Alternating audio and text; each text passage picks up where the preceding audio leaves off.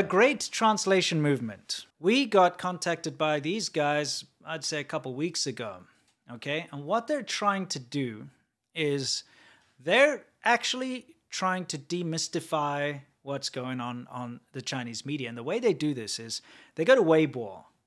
Now, Weibo is like Twitter. Okay. And then what they do is they look at the hottest trending topics on Weibo and they translate what people are saying, the highest upvoted comments, and so on and so forth. And it's despicable. So people are cheering on the Russian invasion. People are, you know, that's where we got all the. Um, It's it's also just stuff in China. yeah, yeah, right? but but the fact of the matter is, you can see some of the nasty things that are being said online openly. yeah. Okay, Yeah. in because China. in China it's it's a surveillance state. They're supposed to shut down anything bad, but they Yeah. actually they propel and allow horrible hate speech. And you know, here's the thing. Remember the the Chinese internet, and of course, when you're talking about these things that are upvoted, you're talking about like internet trolls. You're talking about like you know, uh, not the best people in society. We're not trying to paint Chinese society as No. uh, as anything, but when you read these very highly upvoted comments, like when the invasion first broke out, and they were posting things about offering to take Ukrainian women as slaves, refugees Mm. as slaves, as long as they're between the ages of was it ten? Was it twelve or ten? Twelve, I think. 12 and 25, that kind of thing. And those were getting upvoted and they were really up there. Yeah. Now, normally people don't notice these horrible comments and notice the, these horrible attitudes that are going around on Chinese social media simply mm-hmm. because of the language barrier. Mm-hmm. I think a huge amount of our audience can't read Chinese, right? Right. So if you were to see a, a post on Weibo, you'd think it's anything, could be anything, right? You wouldn't know. But what people are saying very often on there are terrible and it's very bad when it comes to international diplomacy. Okay. But of course, these things are allowed to be posted on the most controlled internet in the world. And so it mm. shows you that it's actually something that's endorsed by the Chinese government when they get popular like that. So, anyway, the Great Translation Movement is a bunch of Chinese people who have kind of had enough of this and they decided, you know what, we're going to translate what people are saying. Because it's unfair. I mean, like Yeah. you have a completely blocked off internet. Why not see what's what's being posted in China? Yeah. So they're going to translate it, and they made it their mission to be um, the new Greco-Roman, uh, you know, kind of movement, and to be able to show people what's being said. So they start translating things, and of course, people are taking notice of what they're translating because when the Chinese government goes out there and says, "Oh yeah, we're not going to take sides," but then on the Chinese internet, it's only like, "Yes, go Russia and die Ukraine, and we'll take your women as slaves," and all. It kind of has a conflicting message, doesn't it? It does. Okay, so they kind of took the mask off of China um, in a big way, and this, of course, is not something they want. No. By the way, please follow these guys on Twitter. Say, leave them a comment, maybe like you know, ADV podcast or Yeah. 80, ADV China sent sent ADV us. sent me. Yeah. Yeah, ADV. They are the Great Translation Movement, It's in the description. and it's at TGTM underscore official on Twitter. S- So what happened was, and I was surprised to see this. We these guys popped up in our radar, and we were like, "Oh, this is really interesting." Because Mm. great. I spoke to I spoke to them Yeah. in DMs. Yeah, me too. And- pri- prior, yeah, they're yeah, great. They're, they- they're really nice people. Yeah, they're really Again, polite. they're people that are just tired of this. Yeah. So so I when I spoke to them. Mm-hmm.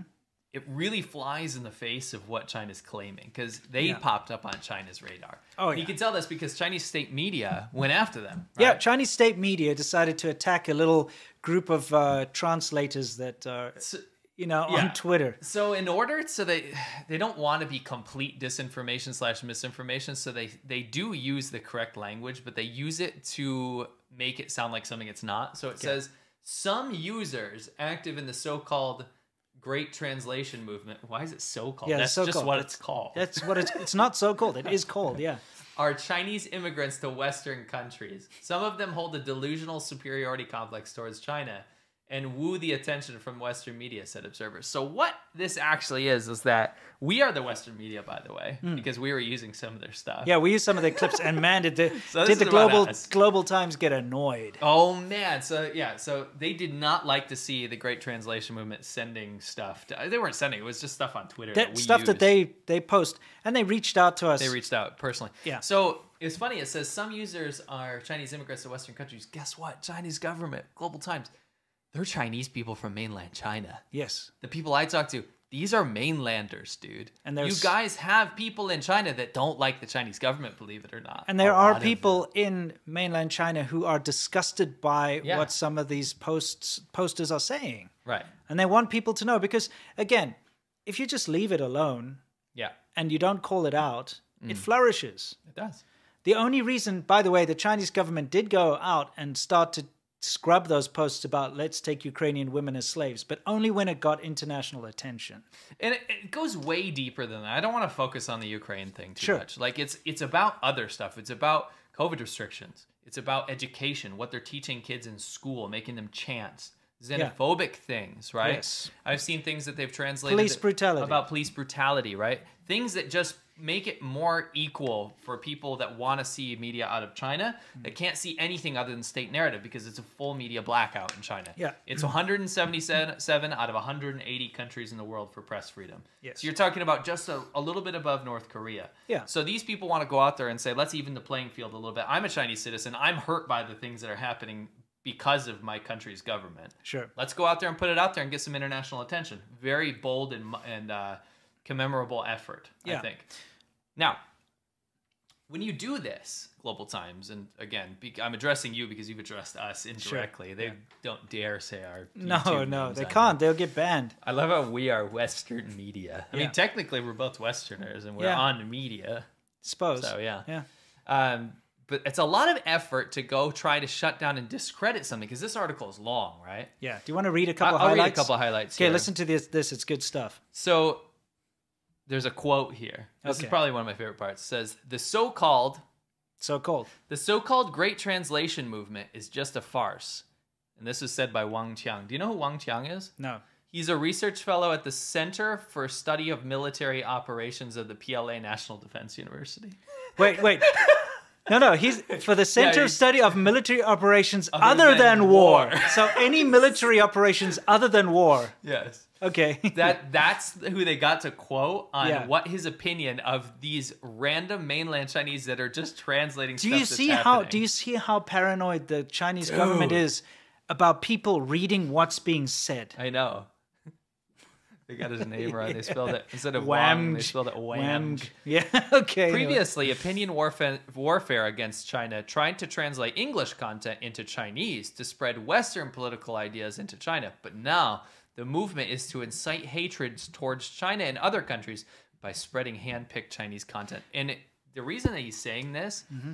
is throughout the article, they're insinuating that Western governments are behind this as well. So they're hmm. paying Chinese people to translate bad cherry-pick stuff to make China look bad. The fact of the matter is, it's still popular content on the Chinese internet that's being translated Yeah, here. it's okay. It's that's all it is. Come on, like you know how Chinese state media is. They'll be like, "Oh, look, KKK," you know, and look at how bad the American this or that racists and so on. They do that. They Right. cherry pick. Everybody cherry picks. At the end of the day, it's there. It's in public. It's on the most controlled internet in the world, and that's what makes it very different. When you have a country like America with freedom of speech, you get batshit crazy people on all sides of the Of spectrum course. posting things online. But in China, you don't. You're not allowed to. You can't post something that's against the government or something that goes against the government's narrative. So you can't be a batshit crazy person in China posting weird vitriol. You'll get shut down. So the only things that are allowed to flourish and are allowed to gain that trending status on Weibo are things that the Chinese government either doesn't care about and they think it's okay, or they condone it and endorse it. Because when something starts to gain steam on Weibo, it's under the spotlight by the censors of the Chinese government. Immediately, they've got entire departments that as soon as a topic starts to trend, it's taken apart, it's looked at, it's made sure that it's okay. If it's not okay, it gets completely scrubbed from the internet. But if it's okay, it's allowed to, to continue. what the Great Translation movement does is, I'm glad you said like it's of course a uh, some of it's going to be like just crazy netizens and stuff. Yeah. But the point is, and there's a lot more important material in there. It's not just like oh, uh, Mr. Zhang said like burn all the the foreigners or something Yeah. like that. It's it's more targeted at like what is going on that you don't know about in Sure, China, sure. right? And that's you know what? If you don't like the Great Translation movement, you don't like this kind of vitriol being spread around the internet, then you have to open your your freedom of speech. Then, Yeah. and you have to allow people to have international dialogue. You can't have your cake and eat it too. Sure. You can't close off 1.4 billion people and not expect some people to be really upset with the fact they live in a horrible, oppressive, repressive regime. Sure. Of course, there's going to be people through They Still have access to the internet. Yeah. Of course, there's going to be people that do this. They're like shocked, and I love the language in the article. Try so hard to pin not, pinpoint it not only on Western governments, Yes. which uh, it's always going to be some CIA operation according to China, right? But it also tries to point it at, uh, uh, put the the blame, lay the blame on Westerner or Western living Chinese people. So people that left China and now they've been brainwashed by the U.S. or whatever. They've been brainwashed to go and translate content that's Yeah. out there on the public on the Chinese internet. They're not mainland Chinese. These are just those silly Chinese that abandon their homeland, right? It always has to be some bizarre scapegoat. I mean, it's crazy that it made state media. I know. I was surprised because this is a pretty small thing. Yeah. These, when these popped, these guys popped up on a radar. I'll be honest with you. When they sent me a message, I was like, "Oh, this is cool. Yeah. Yeah, this is interesting. There's some, there's some interesting like things there." And I popped. I think I probably used one in the podcast or something. They had like an they had such a small following. Yeah. Now look, You know what they're- this is? What? This is the Streisand. Oh, effect. that's correct. What is that? Papa, can you see me? This is now our new soundbite for every time the Chinese government makes things known. Because this article, I mean, this is actually brilliant. It says recently a malicious smear campaign against China on the Russian Ukraine issues surfaced on overseas social media. So, and it says the Great Translation Movement. What they did in this article was to kind of pinpoint it and say this is only about Russia Ukraine issues and try to deflect, but also try to throw the Great Translation mov- movement under the bus. Yeah. But it's not only about that. No. They don't want people to go in there and look for the issues related to China. Sure. Right. Uh, I like how they use smear a lot. Smear is one of the that word. most used words in Chinese state media. Yeah. They should start advertising for like margarine and butter companies, I think, because they say smear so much. You know what I mean? Yeah, It's ridiculous. Anyway, again, These are Chinese people they can't handle it and it's hilarious. So please go follow the Great Translation Movement. as well. just so that you can give a middle finger to the CCP. Yep. But you know, you also have to realize that it's going to be biased too, because you know it is people that are yeah. really pissed off with the Chinese government. This is a symptom of when yeah. you lock down all social media and lock Correct. down every public opinion. Yeah, exactly. So. Anyway, so it is pretty much the Papa, can you see me? Streisand effect. It is. Ah!